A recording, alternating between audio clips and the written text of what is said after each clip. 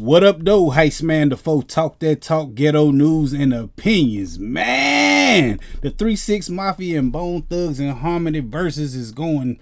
It's going, it's going to madness, man. I'm talking about, hey, they've gotten to a whole physical altercation, man. They trying to mess up the bag. It all started when Bizzy Bone was sitting there. He told him, look, don't be mocking me. I'm talking about this half. This ain't even like they did like two songs a piece. He like, don't be mocking me, man. You know, I mean, that sound like Bootsy, but he said, don't be mocking me when I'm up here doing this thing. And what happened? He threw a bottle at Juicy J because Juicy J told him to S his D.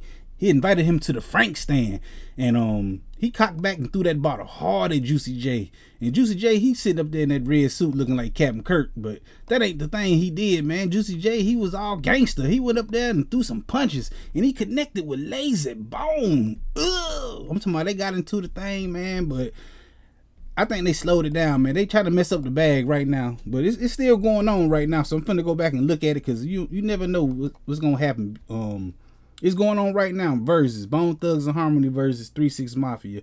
They didn't got into a whole fight but um, I don't think Bizzy Bone on stage right now. But I'm finna go back and watch it, man. But y'all can come back here and watch me Friday live. Cause I go live every Friday talking about stuff just like this. Y'all gotta come through and holler at me, man.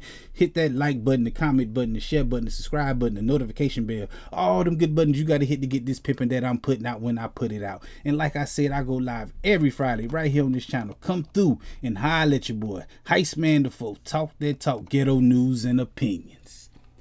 Peace.